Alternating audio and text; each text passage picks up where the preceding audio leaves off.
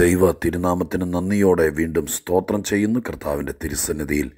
അനുഗ്രഹീതമായിരിക്കുന്ന ഈ നല്ല ദിവസവും ദൈവ മുഖത്തേക്ക് നോക്കി ദൈവത്തെ സ്തുതിച്ച് ജീവിതം തുടരുവാൻ കർത്താവ് നമുക്ക് തന്നിരിക്കുന്ന അനുഗ്രഹിക്കപ്പെട്ട സന്ദർഭങ്ങൾക്കായിട്ട് ദൈവത്തെ വാഴ്ത്തുന്നു. ഉപവാസ പ്രാർത്ഥനയുടെ നാലാമത്തെ ദിവസത്തിലേക്ക് നമുക്ക് എത്തിച്ചേരുവാൻ കർത്താവ് നമ്മളെ സഹായിച്ചല്ലോ. ദൈവകൃപ ദൈവാനുഗ്രഹം ദൈവീക നന്മ ഇതൊക്കെ നമുക്ക് നൽകി തന്ന് നമ്മളെ സ്നേഹിച്ച് നമ്മളെ കരുതി നമ്മളെ പരിപാലിച്ച് ഇതുവരെയും നമ്മളെ കൊണ്ടുവന്ന എല്ലാ കൃപകൾക്കായിട്ടും ദൈവത്തെ സ്തുതിച്ചുകൊണ്ട് ഇന്ന് നമ്മൾ ഒന്നിച്ച് ചിന്തിക്കാൻ ധ്യാനിക്കാൻ ആത്മാവിൽ ബലപ്പെടാൻ ദൈവമായ കർത്താവ് നിശ്ചയിച്ചിരിക്കുന്ന ദൈവവചന ഭാഗങ്ങളിലേക്ക് നമ്മൾ കടന്നു വരികയാണ്. പ്രതീക്ഷയോടെ കർത്തൃസന്നിധിയിലായിരിക്കുമ്പോൾ എല്ലാവരെയും ക്രിസ്തുവേശുവിന്റെ നാമത്തിൽ എന്റെ സ്നേഹ അഭിവാദനങ്ങൾ അറിയിച്ചുകൊണ്ട് നമ്മുടെ ദൈവത്തിന് മനസ്സ് തുറന്ന് ഒരായിരം സ്തോത്രവും നന്ദിയും സ്തുതിയും കരയറ്റിക്കൊണ്ട് പഴയ നിയമത്തിലെ വിലാപങ്ങളുടെ പുസ്തകം അതായത് ലാമന്റേഷൻ മൂന്നാമത്തെ അധ്യായത്തിന്റെ ഇരുപത്തിരണ്ടാമത്തെ വാക്യം lamentation chapter three verse twenty two ആ വാക്കുകൾ ഞാൻ നിങ്ങളെ വായിച്ചു കേൾപ്പിക്കുകയാണ്. നാം മുടിഞ്ഞു പോകാതിരുന്നത് മുടിഞ്ഞു പോകാതിരിക്കുന്നത് യഹോവയുടെ ദയയാകുന്നു. അവന്റെ കരുണ തീർന്നു പോയിട്ടില്ലല്ലോ. ആ വാക്കാണ് അധികം ഊന്നിപ്പറയാൻ ആഗ്രഹിക്കുന്നത്. അവന്റെ കരുണ നമ്മുടെ ദൈവത്തിന്റെ കരുണ തീർന്നു പോയിട്ടില്ലല്ലോ. അതിലേക്ക് ഞാൻ വരുന്നതിനേക്കാൾ മുമ്പ് ആ വാക്കിന്റെ തുടക്കം ഇങ്ങനെയാണ്. നാം മുടിഞ്ഞു പോകാതിരിക്കുന്നത് യഹോവയുടെ ദയയാകുന്നു. ഇതുപോലത്തെ മൂന്നാൽ വാക്യങ്ങൾ വിശുദ്ധ വേദപുസ്തകത്തിനകത്തുണ്ട്. നശിച്ചു പോകാൻ മുടിഞ്ഞു പോകാൻ തീർന്നു പോകാൻ ഇല്ലാതായിത്തീരാൻ ഏറെ സാധ്യതയുള്ള ഒരു ചുറ്റുവട്ടമാണ് മനുഷ്യനെ സംബന്ധിച്ച് ഇപ്പോൾ നമ്മളായിരിക്കുന്ന ഈ ലോകം. അതിന്റെ കാരണം ഞാൻ പലപ്പോഴും ഓർപ്പിച്ചിട്ടുണ്ട് ഇത് വീണുപോയ ലോകമാണ് എന്ന് പറഞ്ഞാൽ ഒരു ആത്മീക ഭാഷയാണ്. ദൈവത്തിന്റെ പദ്ധതിയിൽ നിന്നും ദൈവത്തിന്റെ പ്ലാനിൽ നിന്നും ആദിമ കുടുംബം തന്നെ പ്രതീക്ഷയിൽ നിന്ന് താഴെ വീണു. സാത്താൻ കൈയടക്കി ലോകം. യേശു ഇവിടെ വന്നപ്പോൾ പറഞ്ഞു ഈ ലോകത്തിന്റെ പ്രഭുവാണ് സാത്താൻ. അവൻ സ്തോത്രം പത്രോസ് എഴുതിയപ്പോൾ എഴുതി ആരെ വിഴുങ്ങേണ്ടുവെന്ന് ഭാവിച്ചൂടാടി സഞ്ചരിക്കുകയാണ്. പൗലോസ് എഴുതിയപ്പോൾ പറഞ്ഞു ഈ ലോകത്തിന്റെ ദൈവമാണ് സാത്താൻ. അവൻ മനുഷ്യരുടെ ഹൃദയങ്ങളെ കുരുടാക്കുകയാണ്. ഇങ്ങനെ വേദപുസ്തകം ആ സത്യം പറയുന്നു. ഒരു എതിരാളിയുണ്ട് ഒരു പോരാളിയുണ്ട്. മനുഷ്യനെ നശിപ്പിക്കുന്ന മനുഷ്യനെ വഞ്ചിക്കുന്ന മനുഷ്യനെ ഇല്ലാതാക്കുന്ന ഒരു ദുഷ്ടശക്തിയുണ്ട്. അതിന്റെ ചുറ്റുവട്ടത്താണ് നമ്മൾ ജയാളികളെപ്പോലെ ജീവിക്കുന്നത്. ദൈവകൃപയില്ലാതെ ദൈവമില്ലാതെ ദൈവാശ്രയ ബോധമില്ലാതെ ഇവിടെ ഒരു മനുഷ്യൻ വന്നാൽ ഭൂമിയിൽ ഒരു മനുഷ്യൻ ജന്മം കിട്ടിയാൽ ദൈവത്തെ കൂട്ടുപിടിക്കാതെ ഇതുപോലത്തെ ഈ ദൈവവചനം നമ്മുടെ ഉള്ളിൽ കയറാതെ പരിശുദ്ധാത്മാവിന്റെ സഹായമില്ലാതെ സഭയുടെ സപ്പോർട്ടില്ലാതെ കൂട്ടായ്മയില്ലാതെ ഒറ്റക്കാലെ നിന്ന് ജയിക്കാമെന്ന് ഒരുത്തനും വ്യാമോഹിക്കേണ്ടെന്ന് തെളിച്ചു പറയുന്ന ഗ്രന്ഥമാണ് വിശുദ്ധ ബൈബിൾ. അത് ഞാൻ നിങ്ങളെ ഒന്നോടെ ഓർപ്പിക്കട്ടെ. ഇവിടെ ഒറ്റയ്ക്ക് ജയിക്കാൻ പറ്റില്ല. അതിനാണ് ദൈവം കൂട്ടായ്മ തന്നിരിക്കുന്നത്. അതിനാണ് ദൈവം സഭ മുഖാന്തരം കൃപാവരങ്ങളും അഭിഷേകവും ഒക്കെ ദൈവം തന്നിരിക്കുന്നത്. അതിനാണ് പരിശുദ്ധാത്മാവിനെ തന്നിരിക്കുന്നത്. അതിനാണ് പ്രാർത്ഥനയ്ക്ക് പ്രാർത്ഥിക്കുന്നവരെ തന്നിരിക്കുന്നത്. ഉപദേഷ്ടാക്കന്മാരെ തന്നിരിക്കുന്നത്. അതിനാണ് ദൈവമായ കർത്താവ് സ്തോത്രം തന്റെ തിരുവചനങ്ങളെ തന്നിരിക്കുന്നത്. ഇതൊന്നും കൂടാതെ കൈ കുറേ കാശുണ്ടെന്നും എനിക്ക് സ്തോത്രം വലിയ സംഖ്യ ശമ്പളം കിട്ടുന്ന ജോലിയുണ്ടെന്നും എന്റെ മൂന്നാൽ പിള്ളേർ നല്ല രാജ്യങ്ങളുണ്ടെന്നും എനിക്ക് കുലുങ്ങാനൊന്നുമില്ലെന്നും ചിന്തിക്കുന്നവർ നിലനിൽക്കില്ല. ദാവീദ് ഒരിക്കൽ പറഞ്ഞു ഒരു അബദ്ധത്തിൽ പറഞ്ഞു ഞാൻ ഒരു നാളും കുലുങ്ങി പോകില്ലെന്ന് എന്റെ സുഖകാലത്ത് പറഞ്ഞു. അയ്യോ ആ മനുഷ്യൻ പൊട്ടിപ്പൊളിയേണ്ടതാണ്. ദൈവത്തിന്റെ ദയ കൊണ്ട് പിടിച്ചുന്നത്. അപ്പോൾ ഓർത്തോളണം ഈ പ്രാർത്ഥനയിൽ പങ്കെടുക്കുന്ന ഈ വചനം കേൾക്കുന്ന ദൈവോദനം അനുദിനം കേൾക്കുന്ന എല്ലാവരും ഓർത്താ പോരാ. ഓർത്തത് സ്വന്തം നാവ് കൊണ്ട് പറയണം. ഈ ഭൂമിയിൽ ഒരു മനുഷ്യനും ജീവിക്കാം. പക്ഷേ സ്തോത്രം ജീവിതത്തിന് അർത്ഥമില്ലാതെ പോകും. അർത്ഥമാകണമെങ്കിൽ ഈ ജീവിതം ധന്യമാകണമെങ്കിൽ ദൈവം വേണം കർത്താവ് വേണം പരിശുദ്ധാത്മാവ് വേണം സഭ വേണം പ്രാർത്ഥിക്കുന്നവർ വേണം വചനം വേണം വചനം പറഞ്ഞു തരുന്നവർ വേണം ഉപദേഷ്ടാക്കന്മാർ വേണം കൃപാവരപ്രാപ്തർ വേണം ഇല്ല അഭിഷിക്തന്മാർ വേണം. ഇവരെല്ലാവരും കൂടി സപ്പോർട്ട് ചെയ്തെങ്കിലേ വിജയിക്കാൻ പറ്റുള്ളൂ. അങ്ങനത്തെ ഒരു പശ്ചാത്തലത്തിലാണ് ഈ ലോകത്തിന്റെ സെറ്റപ്പ് അത് നിങ്ങൾ കാത് തുറന്ന് കേൾക്കണേ. കണ്ണ് തുറന്ന് കാണണേ. അതാണ് ഈ ലോകം. ഈ ലോകം നമ്മളെ മയക്കുന്നതാണ് കണ്ണഞ്ചിപ്പിക്കുന്നതാണ്.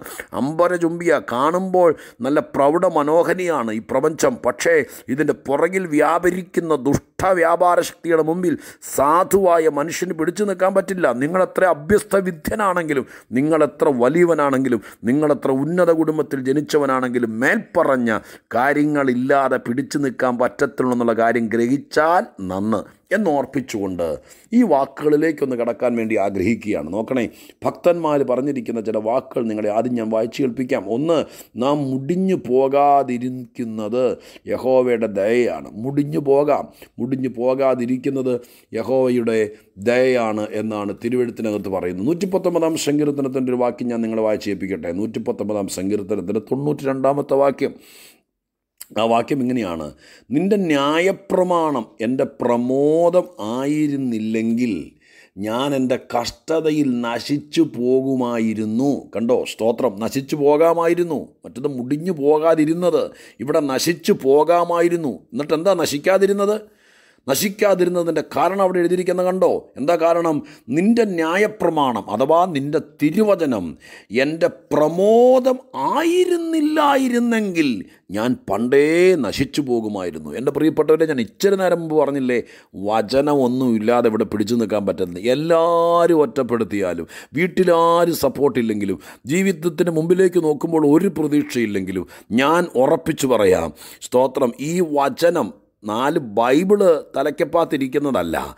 സ്തോത്രം. രണ്ട് ബൈബിളിന്റെ വാക്യങ്ങൾ എവിടെയെങ്കിലും കീറി എഴുതി വെച്ചിരിക്കുന്നതല്ല. പിന്നെ എന്താ? ഈ വചനം എന്റെ പ്രമോദം. ആ ആ വാക്ക് കണ്ടോ? എന്റെ പ്രമോദം. ഞാൻ ആനന്ദിക്കുന്നത് ഞാൻ രസിക്കുന്നത് ഞാൻ ജീവിക്കുന്നത് ഞാൻ എന്നെ തന്നെ പാറ്റേൺ ചെയ്യുന്നത് എന്റെ ജീവിതത്തിന്റെ നിഖണ്ഡു എന്ന് പറയുന്നത് ദൈവത്തിന്റെ വചനമാണ്. ആരാണ്ടും പറഞ്ഞതല്ല.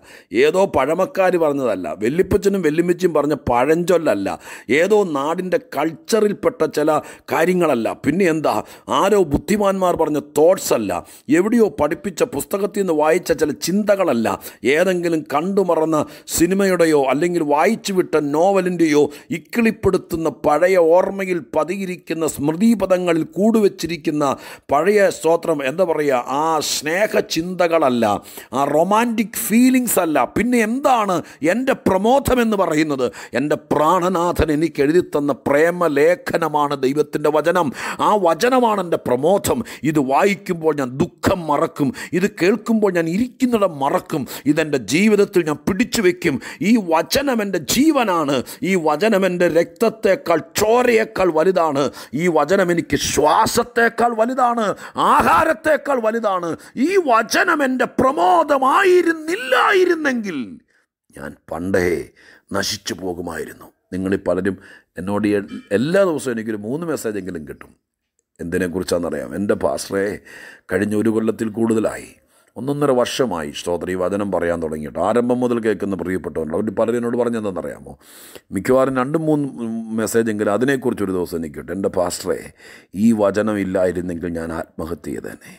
ഈ വചനം ഇല്ലായിരുന്നെങ്കിൽ ഞാൻ എന്തെങ്കിലും ചെയ്തേനെ. ഞാൻ പിടിച്ചു നിന്നത് ഈ നരകക്കുഴി പിടിച്ചു നിന്നത് ഈ അഗ്നിപർവതത്തിന്റെ മുകളിൽ ഞാൻ പിടിച്ചു നിന്നത് വചനമാണ്. അങ്ങനെയുള്ളവരുണ്ട് പ്രിയപ്പെട്ടവരെ. എല്ലാം തോക്കുമ്പോൾ ഒന്നും ഫലിക്കാതെ വരുമ്പോൾ വചനം ഫലിക്കും. അപ്പോൾ രണ്ടാമത്തെ കാര്യം ഞാൻ പറയുന്നത് ഒന്ന് നാം മുടിഞ്ഞു പോകാതിരുന്നത് ദൈവത്തിന്റെ ദയയാണ്. അവിടുത്തെ ദയ വലുതാണ്. ഇല്ലെങ്കിൽ ഈ ആഭിചാരവും ക്ഷുദ്രവും ഒക്കെ ഉണ്ടെന്നുള്ളത് സത്യമാണ്. ഞാനതിനെ ഘടകം വെട്ടി നിഷേധിക്കുകയല്ല. പിന്നെ എന്താ?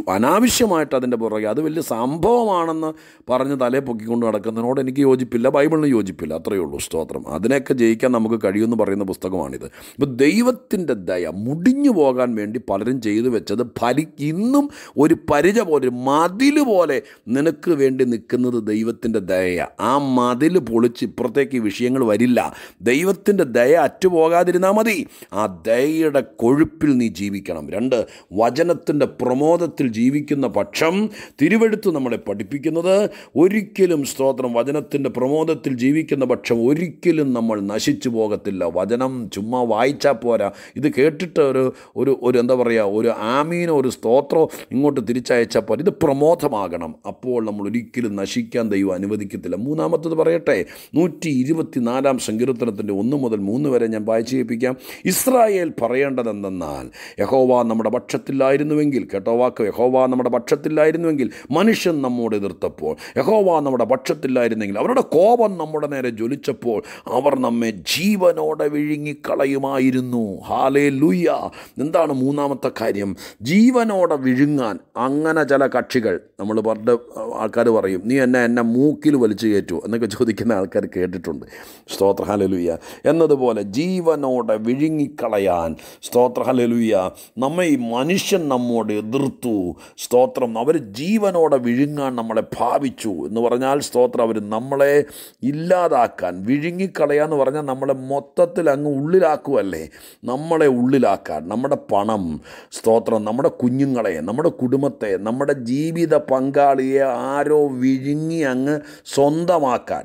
ഒരു സംഭവത്തെ വിഴുങ്ങിയാൽ എന്താ പറ്റും? ആന്റിമാരും അപ്പച്ചന്മാരും അമ്മച്ചിമാരും എന്റെ പ്രിയപ്പെട്ടവരെന്ന് ചിന്തിച്ച് ഒരു സംഭവത്തെ വിഴുങ്ങി അത് ഉള്ളിൽ പോയി. അങ്ങനെയല്ലേ സംഭവം? സ്തോത്രാലലുയ്യ ഉള്ളിപ്പോയി ഒരു കൊച്ചൻ സ്തോത്രം എന്തെങ്കിലും ഒരു ചെറിയ കായോ അല്ലെങ്കിൽ എന്തെങ്കിലും ഒരു ഒന്നിന്റെ ഒന്ന് വിഴുങ്ങി എന്ന് പറഞ്ഞാൽ അവന്റെ ഉള്ളിൽ പോയി മുഴുവൻ ഉള്ളിലായിപ്പോയി അതല്ലേ? ഒരു ഒരു ഒരു ഹിംസ്ര ജന്തു ഒരു ഇരയെ വിഴുങ്ങി എന്ന് പറഞ്ഞാൽ ഉള്ളിൽ പോയി. അപ്പോൾ പല പുള്ളികളും നമ്മുടെ സമ്പത്തും നമ്മുടെ കുടുംബവും അപ്പം നമുക്ക് തന്ന വീതവും നമ്മുടെ ജീവിത പങ്കാളിയെ നമ്മുടെ കണ്ണിലെണ്ണയൊഴിച്ച് വളർത്തിയ കുഞ്ഞുങ്ങളെ അവരുടെ സ്വന്തമാക്കാൻ വിഴുങ്ങാൻ അങ്ങ് വിഴുങ്ങി ഉള്ളിലാക്കാൻ നീ കഷ്ടപ്പെട്ട് വളർത്തിയ നീ കണ്ണുനീര് വളർത്തിയതിനെ നിന്നെ അമ്മയെന്ന് വിളിക്കാതെ നിന്നെ അപ്പാന്ന് വിളിക്കാതെ നീ പറയുന്ന കേൾക്കാതെ ഒറ്റ ദിവസം കൊണ്ട് വഞ്ചിച്ച് വക്രിച്ച് വശീകരിച്ച് അവരുടെ ഉള്ളിലാക്കാൻ വിഴുങ്ങാൻ നോക്കി.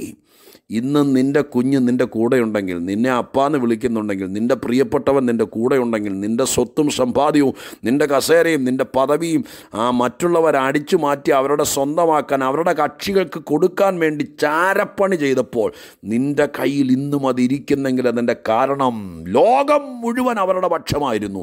കമ്പനിയും കമ്പനി എം ഡിയും അതിന്റെ മുതലാളികൾ എന്തിനേറെ പറയുന്നു? സ്വോത്രം പ്രാർത്ഥിക്കാൻ വേണ്ടി വന്നവരും ദൂത് പറഞ്ഞവർ പോലും മറുപക്ഷം ചാടിയപ്പോൾ വക്കീൽ പോലും കാശ് മേടിച്ച് അപ്പറ നിന്ന് കളിച്ചപ്പോൾ ദൈവം മാത്രം നിന്റെ പക്ഷത്ത് നിന്നതുകൊണ്ടാണ് നിന്റെ സന്തതി നിന്റെ കൂടെയുള്ളത്. അവരാരും വിഴുങ്ങിക്കളയാതിരുന്നത്. കേട്ടോ? ആയിരം സ്വോത്രം പറഞ്ഞാൽ ഇതിനൊന്നും മതിയാകില്ല കേട്ടോ. കേട്ടിരുന്ന പോരാം. ചിരിച്ചു തള്ളിയ പോരാം. നന്ദിയോടെ പറയണം. എന്റെ ദൈവം എന്റെ പക്ഷത്തുണ്ടായിരുന്നത് കൊണ്ടാണ് എന്റെ കുഞ്ഞുങ്ങൾ എന്റെ കൂടെയുള്ളത് എന്റെ കുടുംബം എനിക്കുള്ളത് ഇല്ലെങ്കിൽ എന്റെ കുടുംബമൊക്കെ ചിതിലമായി പോയേനെ. പലരും വശീകരിച്ചെടുത്തേനെ. പലരും വിഴുങ്ങിയേനെ. വിഴുങ്ങാൻ പറ്റില്ലട പിശാചെ. കാരണം ദൈവം എന്റെ പക്ഷത്ത് നിൽക്കുമ്പോൾ നിനക്കത് ചെയ്യാൻ സാധിക്കുകയില്ല സ്തോത്രം. ഹല്ലേലൂയ. നാലാമത്തത് പറയട്ടെ. തൊണ്ണൂറ്റിയേഴാം സങ്കീർത്തനത്തിന്റെ പതിനേഴാമത്തെ വാക്യത്തിലേക്ക് നോക്കൂ. തൊണ്ണൂറ്റിയേഴാം സങ്കീർത്തനം. സ്തോത്ര ഹല്ലുയ തൊണ്ണൂറ്റി നാലാം സങ്കീർത്തനം സോറി തൊണ്ണൂറ്റി നാലാം സങ്കീർത്തനത്തിന്റെ പതിനേഴാമത്തെ വാക്യത്തിലേക്ക് നോക്കൂ. തൊണ്ണൂറ്റി നാലാം സങ്കീർത്തനം പതിനേഴാമത്തെ വാക്യം. യഹോവ എനിക്ക് സഹായമായിരുന്നില്ലെങ്കിൽ എന്റെ പ്രാണൻ വേഗം മൗനവാസം ചെയ്യുമായിരുന്നു. ഇവിടെ എല്ലാം കൊടുത്തിരിക്കുന്ന പദം കണ്ടോ? യഹോവ എന്റെ പക്ഷത്തില്ലായിരുന്നെങ്കിൽ യഹോവ എനിക്ക് സഹായമായിരുന്നില്ലായിരുന്നെങ്കിൽ. സ്തോത്രം ഹല്ലുയ അതുപോലെ സ്തോത്രം ദൈവമേ മുടിഞ്ഞു പോകാതിരുന്നത് നിന്റെ ദയ ഒന്നുകൊണ്ട് മാത്രം മാത്രമാണ്. സ്തോത്രഹലു നിന്റെ വചനം എന്റെ പ്രമോദമായിരുന്നില്ലായിരുന്നെങ്കിൽ കേട്ടോ? സ്തോത്രഹാലലുയ അപ്പം ഇതൊക്കെ ദൈവം നമുക്ക് സെറ്റ് ചെയ്ത് തന്നു. നാലാമത്തെ കാര്യം തൊണ്ണൂറ്റി നാലാം സങ്കീർത്തനം പതിനേഴ് യഹോവ എനിക്ക് സഹായമായിരുന്നില്ലായിരുന്നെങ്കിൽ ഞാൻ പണ്ടേ എന്റെ പ്രാണൻ വേഗം മൗനവാസം ചെയ്യുമായിരുന്നു. മൗനവാസം ചെയ്യുക എന്ന് പറഞ്ഞാൽ മരിച്ചു പോകുക അത്രയേ ഉള്ളൂ. മൗനവാസം മരണത്തിന്റെ മറ്റൊരു പ്രയോഗമാണ് മൗനവാസം. ശ്രോത്രഹലലുയ അതല്ലെങ്കിൽ വേറൊരു വേർഷനിൽ പറയാം മിണ്ടാൻ പറ്റാതെ മൗനമായി പോയി വായടഞ്ഞു പോയി. സ്തോത്രം ഒന്നും മിണ്ടാനില്ലാതെ പോയി. നിനക്ക് ഇന്ന് സ്തോത്രം മിണ്ടാതെ നിന്നെ ഒരു മൂലയിൽ ഒതുക്കാൻ വേണ്ടി ഒത്തിരി കാര്യങ്ങൾ ചെയ്തപ്പോഴും എന്റെ ദൈവത്തിന്റെ സഹായഹസ്തം നീട്ടിയതുകൊണ്ടാണ് ദൈവത്തിന്റെ സഹായം ഉണ്ടായിരുന്നത് കൊണ്ടാണ് ഇന്ന് മൗനവാസം ചെയ്യാതിരുന്നത്. നാല് പ്രധാനപ്പെട്ട വാക്കുകൾ ഞാൻ നിങ്ങളെ ചൂണ്ടിക്കാണിച്ചു. നിലനിൽപ്പിന്. ഇന്ന് നമ്മൾ ഭൂമിയിലായിരിക്കാൻ നമ്മുടെ അവകാശങ്ങൾ നമ്മുടെ നന്മകൾ നമ്മുടെ കൈവശം തന്നെ ഇരിപ്പാൻ നമ്മൾ മുടിഞ്ഞു പോകാതിരിപ്പാൻ പരിശുദ്ധ ദൈവത്തിന്റെ പരമകൃപയാൽ നമ്മൾ നിലനിൽക്കാനിടയായി തീർന്ന എത്ര ശ്രേഷ്ഠമാണ്. വചനം പ്രമോദമായിരുന്നില്ലായിരുന്നെങ്കിൽ. സ്തോത്രം ചെയ്യുന്നു. ഞാൻ വീണ്ടും പറയുന്നു എന്റെ പ്രിയപ്പെട്ടവരെ ഒറ്റയ്ക്ക് നിൽക്കാൻ പറ്റുന്നൊരു ലോകത്തല്ല നമ്മൾ ജീവിക്കുന്നത്. കൂട്ടായ്മയില്ലാതെ. അതുകൊണ്ടാണ് കർത്താവ് രക്ഷിക്കപ്പെടുന്നവരെ ഒറ്റയാനായിട്ട് എവിടെയെങ്കിലും നിർത്താതെ ദിനം പ്രതി സഭയോട് ചേർത്തിരുന്നത്. കുരിന്തലേഖനത്തിന്റെ ഭാഷയെ പറഞ്ഞാൽ കർത്താവിന്റെ കൂട്ട യേശുക്രിസ്തുവിന്റെ കൂട്ടായ്മയിലേക്ക് നമ്മളെ വിളിച്ചു ചേർത്തത്. ഒരു കൂട്ടായ്മയ്ക്കകത്ത് ഒരു പ്രാർത്ഥനയ്ക്കകത്ത് വചനത്തിന്റെ പൊരുൾ തിരിക്കുന്നതിന്റെ നടുവിലേ നമുക്ക് നിലനിൽക്കാൻ കഴിയത്തുള്ളൂ നിൽക്കാൻ കഴിയത്തുള്ളൂ. അത് നമ്മൾ മനസ്സിലാക്കണം അതിനെ നമ്മൾ ഗ്രഹിപ്പാനിടയാക്കണം. കേൾക്കൂ പ്രിയപ്പെട്ടവരെ അവസാന വാക്കുകളിലേക്ക് ഞാൻ നിങ്ങളെ കൂട്ടിക്കൊണ്ടു പോവുകയാണ് വിലാപങ്ങളുടെ പുസ്തകത്തിലെ വാക്യത്തിലേക്ക് ഒരിക്കൽ കൂടെ നോക്കാം. അവിടെ എഴുതി അവസാനിപ്പിച്ചത് ഇങ്ങനെയാണ്. നാം മുടിഞ്ഞു പോകാതിരിക്കുന്നത് സ്തോത്രം ദൈവത്തിന്റെ ദയയാകുന്നു. അടുത്ത വാക്ക് ചെന്ന് നിന്നതെന്താണെന്നറിയാമോ അവന്റെ കരുണ തീർന്നു പോയിട്ടില്ലല്ലോ. അവന്റെ കരുണ തീർന്നു പോയിട്ടില്ലല്ലോ. സ്തോത്ര. ഹലലൂയ ചില ആളുകളെ കുറിച്ച് നമ്മൾ പറയാറില്ലേ? എന്ത് പറയാറുണ്ട് സ്തോത്രം? അങ്ങനെ ഇപ്പോൾ പണ്ടത്തെ പോലെയല്ല പണ്ട് എന്തായിരുന്നു അറിയാമോ പണ്ട് സ്തോത്രം എത്രയോ പേർക്ക് സഹായം. ചില ആൾക്കാർ ഇങ്ങോട്ടും പറയും പണ്ടത്തെ പോലെ ഒന്നും ഇപ്പം ഞാൻ ആരെ അങ്ങനെ സഹായിക്കുക എല്ലാം കള്ളന്മാരാണ് എന്റെ പേരിൽ ഇപ്പം അങ്ങനെ സഹായമൊന്നുമില്ല. പണ്ടൊക്കെ ഒത്തിരി ഞാൻ വാരിയൊക്കെ ഒരു കൊടുക്കുമായിരുന്നു. ഇപ്പം അങ്ങനെയൊന്നുമില്ല എന്ന് പലരും പറഞ്ഞു കേട്ടിട്ടുണ്ട്. എന്നാൽ ദൈവത്തിന്റെ സ്വഭാവം ഞാൻ പറയാം. അബ്രഹാമിനോട് കരുണ കാണിച്ച ദൈവം. എന്തിനേറെ പറയുന്നു? ആദാമിനോട് കരുണ കാണിച്ച ദൈവം. സ്തോത്രഹല്ലുയ ഇങ്ങോട്ട് വന്ന ഓരോ കക്ഷികളോടും കരുണ കാണിച്ച ദൈവം. എല്ലാം നശിക്കുമ്പോൾ നോഹയോട് കരുണയും കൃപയും കാണിച്ച ദൈവം. സ്തോത്രഹല്ലുയ പ്രതിസന്ധികളുടെ നടുവിലും പ്രതികൂലങ്ങളുടെ നടുവിലും കടന്നു പോകുന്ന ജനം മനസ്സുമടുത്ത് പിറുപിറുത്തപ്പോഴും മരുഭൂമിയിൽ ഇസ്രായേൽ മക്കളോട് കരുണ കാണിച്ച ദൈവം ഇങ്ങോട്ട് വരികയാണ്. സ്തോത്രാലിലെ പൗലോസും പത്രോസൊക്കെ പറഞ്ഞു എന്നോടവൻ കരുണ കാണിച്ചു. കൊടാനുകൂടി വിശുദ്ധന്മാരോട് കരുണ കാണിച്ച ദൈവത്തിന്റെ കരുണയുടെ ഉറവ് ഇന്നും തീർന്നു പോയിട്ടില്ല. വിലാപങ്ങളുടെ പുസ്തകത്തിൽ വായിക്കുന്നു അവന്റെ കരുണ ഇന്നും തീർന്നു പോയിട്ടില്ല. എന്റെ പ്രിയപ്പെട്ടവരെ ആരും മിടുക്കരായതുകൊണ്ടല്ല നിന്നത്. ആരും അതിവിശുദ്ധരായതുകൊണ്ടുമല്ല നിന്നത്. സ്തോത്രം. ആരും പ്രാർത്ഥന കൊണ്ട് മാത്രമാണ് നിന്നത് എന്നും എനിക്ക് അഭിപ്രായമില്ല. പ്രാർത്ഥിച്ചത് സത്യമാണ്. ആരും ഉപവാസത്തോട് ഉപവാസം എന്റെ പേര് ശരിയാണ്. നമ്മൾ പറയുമ്പോൾ അങ്ങനെയൊക്കെ പറയുന്നു. പക്ഷേ അതിന്റെയൊക്കെ പുറകിലെ ഏറ്റവും പ്രധാനപ്പെട്ട ഘടകം ഇതാണ്. എന്താണെന്നറിയാമോ? ഞാൻ പ്രാർത്ഥിച്ചു ഞാൻ ഉപവസിച്ചു ഞാൻ വിശുദ്ധിയോടെ ദൈവകൃപയിൽ നിന്നു ഞാൻ സൂക്ഷ്മതയോടെ ജീവിച്ചു. സ്തോത്രം. എന്റെ വാക്കിൽ പോലും ഞാൻ വളരെ ശുദ്ധിയോടെ നിന്നു. എന്റെ സൂക്ഷ്മമായ കാൽപ്പാടുകൾ പോലും ഞാൻ ദൈവത്തിന്റെ കാൽപ്പാടുകളിൽ മാത്രം വെച്ചു. വചനത്തിന്റെ തിട്ടമായ നിർണയത്തിലൂടെ തന്നെ നടന്നു. ഇതൊക്കെ ശരിയാണ്. പക്ഷേ പലതിന്റെയും പുറകിലെ രഹസ്യം ഇതാണ്. എന്റെ ദൈവത്തിന്റെ കരുണ കൊണ്ടാണ് നിന്നുപോയത്. കരുണ കൊണ്ടാണ് നിന്നുപോയത്. ഞാൻ വീണ്ടും പറയാം ഞാനൊരു ഉപദേശം നിഷേധിക്കുകയല്ല ആദ്യം പറഞ്ഞതിനെ വീണ്ടും തിരുത്തുകയല്ല. നമ്മൾ നോക്കിയ സോദരി പുസ്തകത്തിൽ പറയുന്നത് മുഴുവൻ ചില പ്രത്യേക സന്ദർഭങ്ങളിൽ കാരണം നമ്മുടെ ജഡം മനസ്സ് ലോകം പിശാജ് ഇതിന്റെ എല്ലാത്തിന്റെയും മധ്യത്തിൽ നമ്മൾ നടുവിലൂടെ കടന്നു പോകുമ്പോൾ ചില പ്രത്യേക സാഹചര്യങ്ങളിൽ നമുക്ക് ചിലപ്പോൾ സ്വോത്രം പിടിച്ചു നിൽക്കാൻ പറ്റാതെ വരും. അവിടെയെല്ലാം കരുണ കൊണ്ടാണ് നിന്നുപോയത്. ഞാൻ അവസാനിപ്പിക്കുമ്പോൾ ഇങ്ങനെ പറയാം മുടിഞ്ഞു പോകാതിരുന്നത് നാം മൗനവാസം ചെയ്യാതിരുന്നത് നമ്മുടെ നന്മകളാരും വിഴുങ്ങിക്കളയാതിരുന്നത് നാം നശിച്ചു പോകാതിരുന്നത് വലിയ കാര്യമാണ്. ദൈവം ദൈവം ദൈവം. തീർന്നു പോകാത്ത ദൈവത്തിന്റെ കരുണ. അതി ഉപവാസ പ്രാർത്ഥനയിൽ അധികം കിട്ടട്ടെ. അധികം കിട്ടട്ടെ. ആ കരുണ പലർക്കും കിട്ടിയ കരുണ അധികം കിട്ടട്ടെ. ഞാൻ പ്രാർത്ഥിക്കട്ടെ. പരിശുദ്ധ ദൈവമേ ഞങ്ങളുടെ സ്വർഗീയ പിതാവേ എന്റെ കർത്താവിന്റെ കരങ്ങളിലേക്ക് ഏൽപ്പിച്ച് പ്രാർത്ഥിക്കുന്നു. നല്ല ദൈവമേ ഞങ്ങൾ സമ്മതിക്കുന്നു. പ്രാർത്ഥിച്ചത് ശരിയാ ഉപവസിക്കുന്നത് ശരിയാ കഴിയുന്നിടത്തോളം വചനം അനുസരിക്കുന്നത് ശരിയാ. പക്ഷേ ഇതിനൊക്കെ അപ്പുറം അവിടുത്തെ കരുണയാണ് ഞങ്ങളെ പിടിച്ചു നിർത്തിയത്. നാഥാ ഞങ്ങൾ ദൈവത്തോട് പ്രാർത്ഥിക്കുന്നു. തീർന്നു പോകാത്ത കരുണയുടെ ഉറവിടമേ ഞങ്ങളുടെ കുടുംബത്തേക്ക് ഞങ്ങളിലേക്ക് പ്രാർത്ഥിക്കുന്നവരിലേക്ക് കരുണ വരണമേ. മുടിച്ചു കളയാൻ നശിപ്പിച്ചു കളയാൻ വിഴുങ്ങിക്കളയാൻ ഇല്ലാതാക്കാൻ മൗനവാസം ചെയ്യിപ്പിക്കാൻ നോക്കുന്നവരുടെ നടുവിൽ തീർന്നു പോകാത്ത കരുണയിൽ ഞങ്ങളെ നിർത്തണമെന്ന് പ്രാർത്ഥിക്കുന്നു. എല്ലാവരെയും വചനങ്ങളാൽ അനുഗ്രഹിക്കണം. യേശുവിൻ നാമത്തിൽ പ്രാർത്ഥിക്കുന്നു.